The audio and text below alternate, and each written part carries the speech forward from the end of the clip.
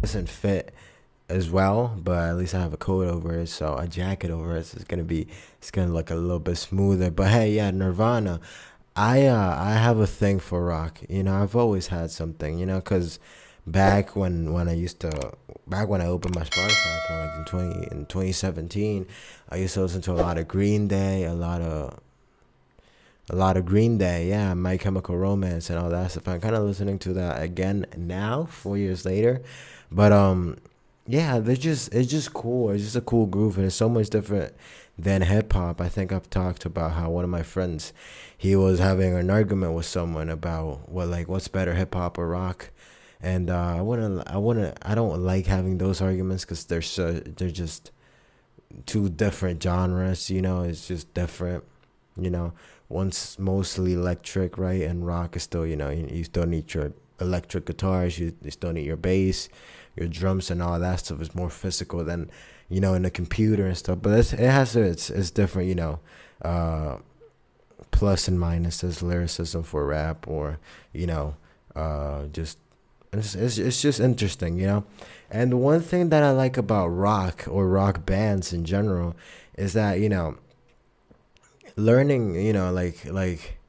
Uh, knowing a little bit how and how to you know not how to make a, a, a bass line but you know to understand how hard it is to make a bass line or like or, or a you know a, gu- a guitar riff or whatever you know i'm always like how the fuck like how the fuck does does flea remember all those lines you know i'm saying like all those uh different uh you know all those different bass lines all those different notes for each song and then i'm like you know a band that's just you know four or five or three different artists you know, kind of just colliding with each other. You know what I'm saying? Like when you, let me explain. Like for example, when you hear an Ed Sheeran song, song, you know, like he knows all of his lyrics, you know, because his instrument, is, apart from the guitar, is his voice.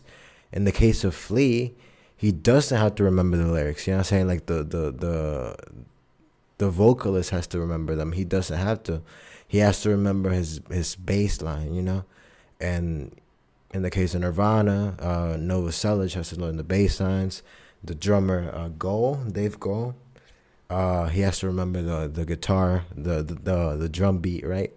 And uh, it's just interesting to think about. You know, like I don't know if that made sense, but it's just like you know the voice, a guitar, a bass, a drums, piano, all those things are different instruments, and in a band, they all just collide with each other. You know what I'm saying? They all have like the same groove the same, you know, time frame, the same, you know, uh, yeah, just, just, just, you know, sound in a way. You know, it's, it's it's interesting to think about. You know, it's just a collection, a mixture of things.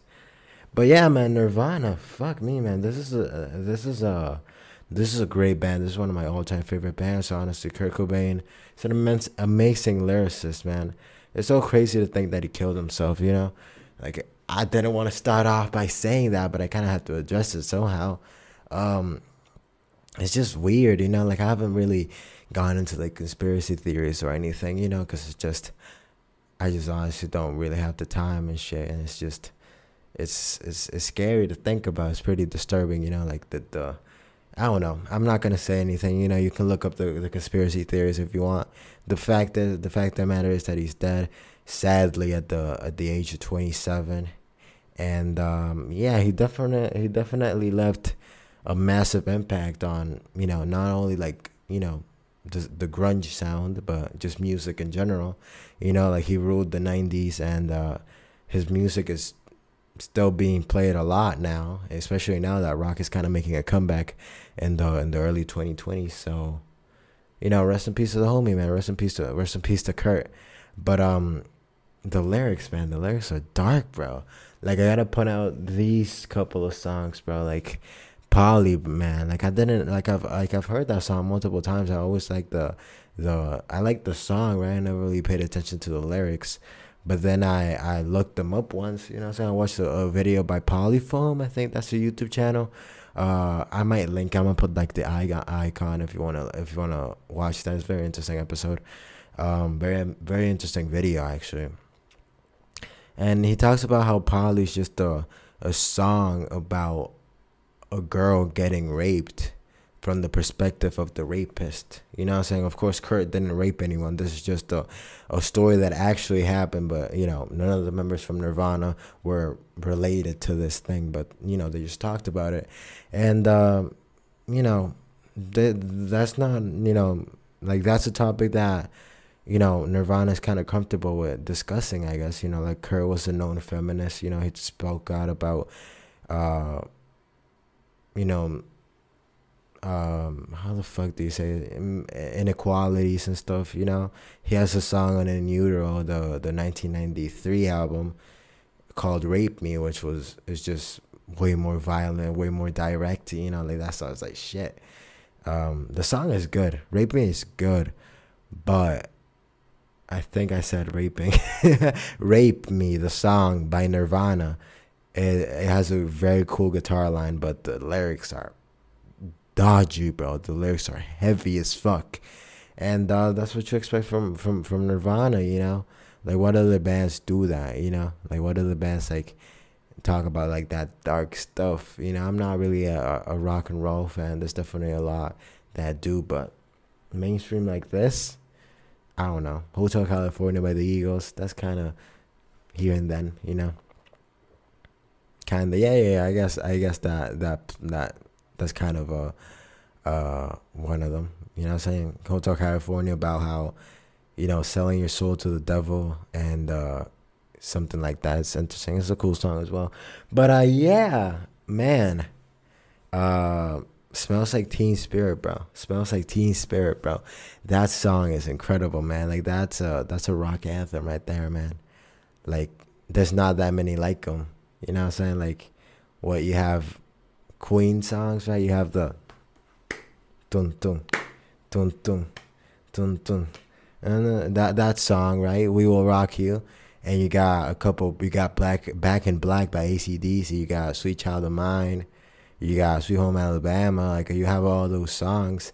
And Smells Like Teen Spirit has to be on that list as well. Like it's such a it's such a banger, man. Like I, I don't even know how how how I would have reacted to those songs back in the back if I was alive in the '90s, bro. If I was like, if that shit came out today, bro, who knows, man? That shit was that shit was hard, man. Like, great song, great, great vibes. This is one of the albums that I would get on vinyl.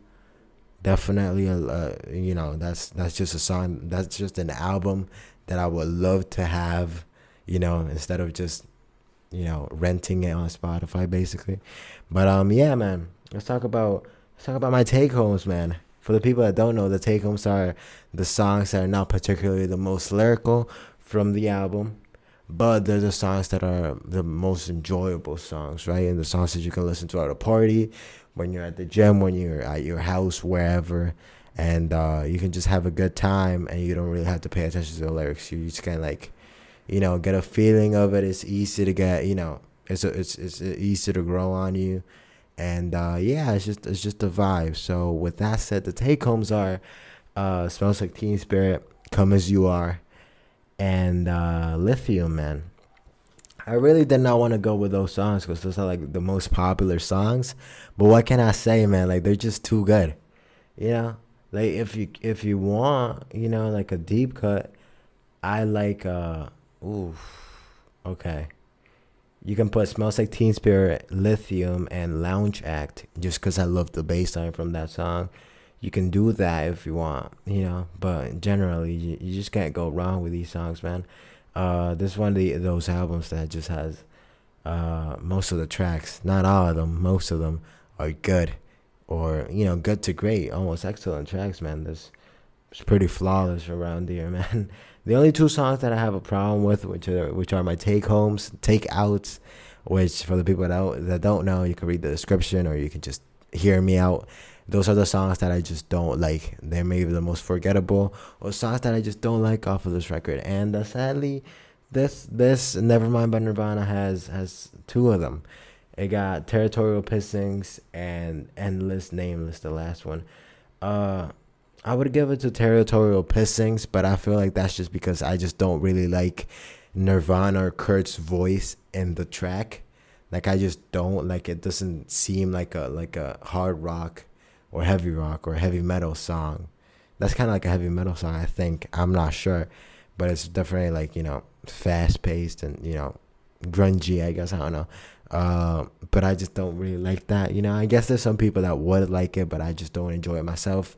And in the case of Endless Nameless, the first half is great. You know, the the first the the, the first half is just a, a, typical Nirvana song, not the greatest, but it's just it's good. It's good to play in the background. But then the second half is just a mess. I feel like you know. So personally, I would take it to Territorial Pissings, but uh, Endless Nameless since it's six minutes long, kind of tastes it. You know, I'm gonna go with an Endless Nameless as the takeouts. Okay, that's what I would go for. And the lyrical Liverpool for the people that I don't know this is the song that is the most lyrical. It might not have the best flow, but it just has the best lyrics and it kind of, you know, in some cases, kind of gives you like the, the, overall idea or the sound of the album, right? So in the case of To Pimp a Butterfly by Kendrick Lamar, how much a dollar costs, because this and that for the people that know. Uh, yeah. in this case, I would go with uh, Something in the Way, man. Uh, something in the way or Polly, one of the two, man. Something in the way is about how uh, Kurt Cobain, when he was like, I believe like my age, like sixteen, maybe maybe seventeen, uh, he lived under a bridge because he uh, he got kicked out of his house. He lived he lived with his friend for a couple of months, but then he got kicked out, and uh, yeah, that was that was rough. And uh, it's also the background song for one of the DC movies, one of the new ones uh, Batman, I believe. It has that song in the background. I, I it out. I was like, holy shit, yeah, something in the way. So, uh, for the awards for today, so you for the people that you know just want to be here for Nirvana, you can get the fuck out if you want. the the take homes are smells like Teen Spirit, Come as You Are, and Lithium. The the takeout is Endless Nameless, and the lyrical Liverpool is something in the way. That's it, man. The podcast is available on Spotify, Apple Podcasts, Google Podcasts, Breakers, Pocket Cast, Radio Public, Anchor, and starting next week, it will be available on SoundCloud, only new episodes, okay? You can also catch the clips in my YouTube channel, link in bio. Okay, bye.